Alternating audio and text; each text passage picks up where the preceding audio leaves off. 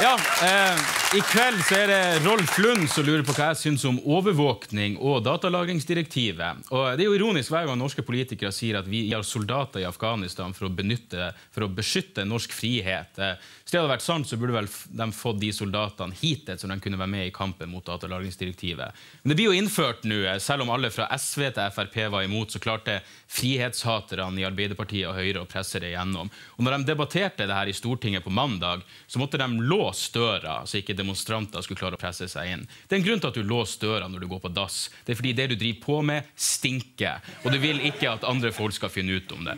Og når det gjelder overvåkning, Jeg hadde en kompis som, eh, som sa til meg med hensyn til overvåkningskamera, så sa han at eh, du, så, lenge du ikke gjør noe galt, så har du ikke noe å frykte. Jeg, bare, jeg gjør ikke så mye galt, men jeg hater å bli filma, som dere sikkert merker. Og da sa han at ja, men hva hvis du for har en voldtekt, og så klarer man å, å, å se hvem, hvem gjerningsmannen er pga. et overvåkningskamera? ikke det er en bra ting? Måtte jeg si, jo da, selvfølgelig.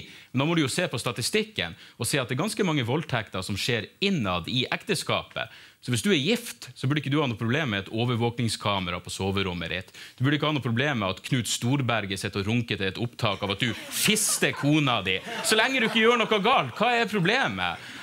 Og fisting er vel lovlig innad i ekteskapet enn så lenge. Jeg vet at, nu, at eh, Knut Storberget sitter og jobber med EUs fistingsdirektiv. Så nyt det så lenge dere kan. Og det er jo den store ironien. altså. Knut Storberget kommer nå til å ha innsyn i all min mobiltrafikk og all min datatrafikk, men han kommer aldri til å se dette innslaget. Det er fordi han har dårlig prioriteringsevne.